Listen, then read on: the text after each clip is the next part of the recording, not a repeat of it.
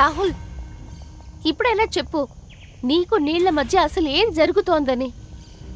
దోస్తు అసలేం జరిగిందో చెప్పు. చెప్పు దోస్తు.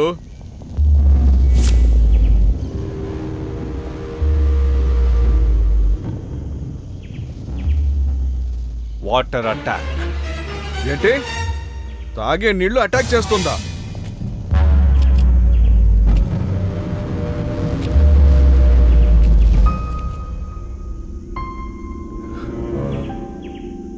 నిజం చెప్తున్నాను మీరా వాటర్ నన్ను అటాక్ చేస్తూనే ఉంది.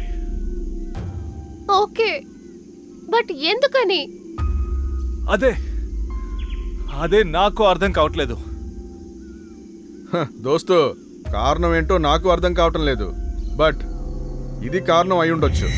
యూ కెన్ సీ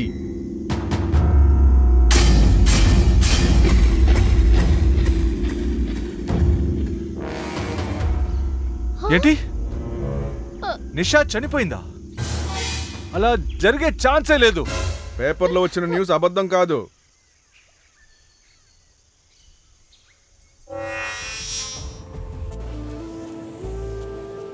నేను చెప్పింది నీకు బాగా అర్థమైంటుందని అనుకుంటున్నాను.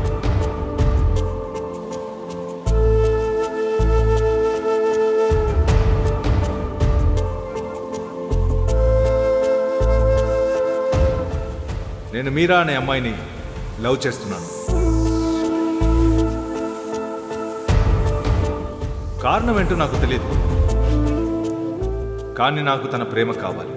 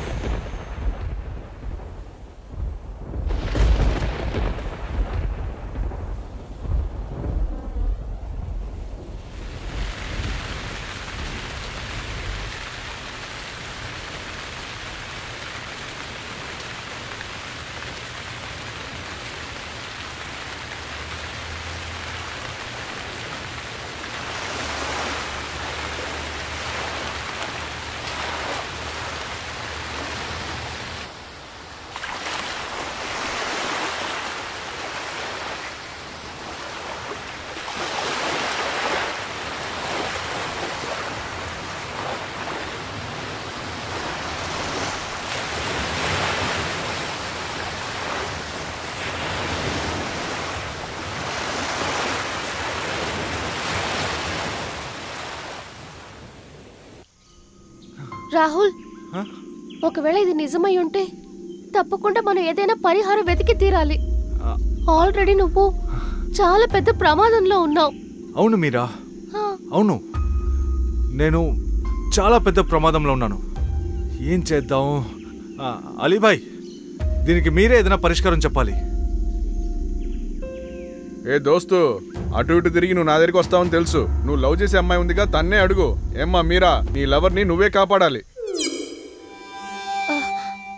రాహుల్ దీనికి ఒక పరిహారం కావాలంటే నాకు తెలిసిన ఒక గురుజీ ఉన్నారు. ఆయన దగ్గరికి వెళ్తే తప్పకుండా దీనికి ఒక పరిహారం దొరుకుతుంది. ఇంకేముంది రండి ఆయన్ని వెళ్ళి కలుద్దాం. అది వర్కౌట్ కాకపోతే ఇంకేదైనా ఆలోచిద్దాం. ఏమంటారు? అయితే వెంటనే వెళ్ళి ఆయన చూద్దాం. త్వరగా పదండి.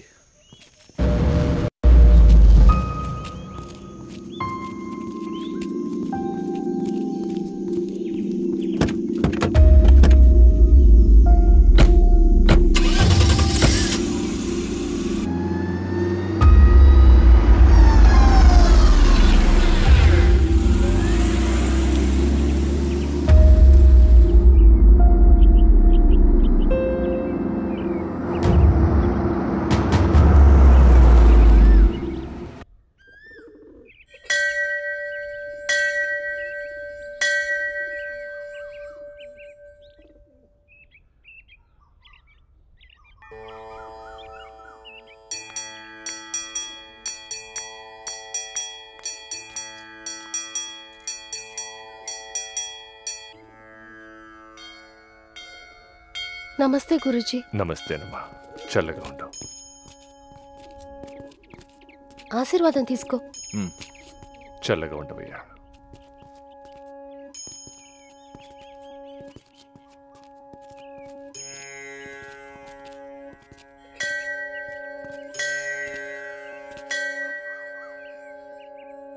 గురుజీ తన పేరు రాహుల్. నమస్కారం. పెద్ద ప్రాబ్లంలో ఇరుక్కున్నాడు. ఏంటి? తను నీళ్ళ దగ్గరికి వెళ్తే ఏదేదో విచిత్రంగా జరుగుతోంది. సడన్గా చూస్తే నీళ్ళు వైబ్రేట్ అవుతుంది.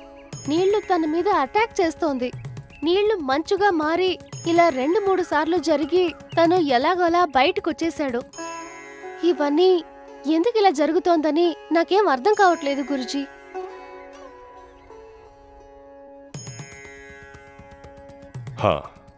మీ జీవితంలో ఈ మధ్య జరిగిన సంఘటనల్ని కాస్త వివరంగా చెప్తారా?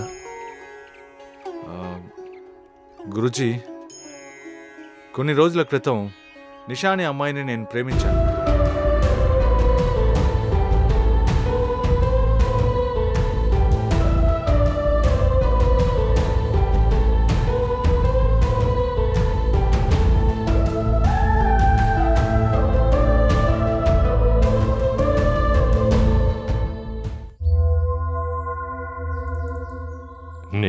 సమస్యలన్నిటికీ కారణం. నిన్ను నమ్ముకుని వచ్చిన అమ్మాయిని ఎప్పటికీ వదలనని నీళ్ళు సాక్షిగా చేతుల్ని పట్టుకుని ఆ అమ్మాయికి నువ్వు మాటిచ్చావు. కానీ నువ్వు అమ్మాయిని మోసం చేశావు. నువ్వు ప్రకృతి కోపానికి గురైపోయావు. హా, గురుజీ ఇప్పుడు కారణం ఏంటో తెలిసింది. ఇందుకు ఇప్పుడు ఏం చేయాలి? నా మాట విను. మనం ఒక మనిషిని ఎదిరించి జీవించగలుగుతాం. కానీ మనం ప్రకృతిని ఎదిరించి జీవించలేము. ఇంకా చెప్పాలంటే ఒక అమ్మాయికి ఒక అబ్బాయికి పెళ్ళి అవ్వాలంటే నిప్పుని సాక్షిగా పెట్టుకునే ఆ పెళ్ళిని జరుపుతారు. ఎందుకంటే నిప్పుకి అంత శక్తి ఉంది. అలాగే నీళ్ళకు ఉన్నాయి. ప్రతి ఒక్కటికి ఒక శక్తి ఉంది. గాలి నేడ నీళ్ళు ఇవన్నీ ప్రకృతి మనకి ప్రసాదించిన వరం. ఇవన్నిటినీ మనం అనుభవించాలి. అంతే. వాటి మీద అధికారం గాని మాట గాని ఇవ్వకూడదు.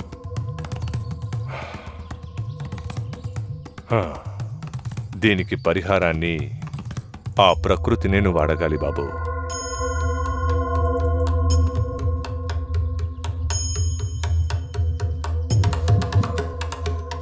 ఆ దేవుడి మీద నమ్మకం ఉంచు.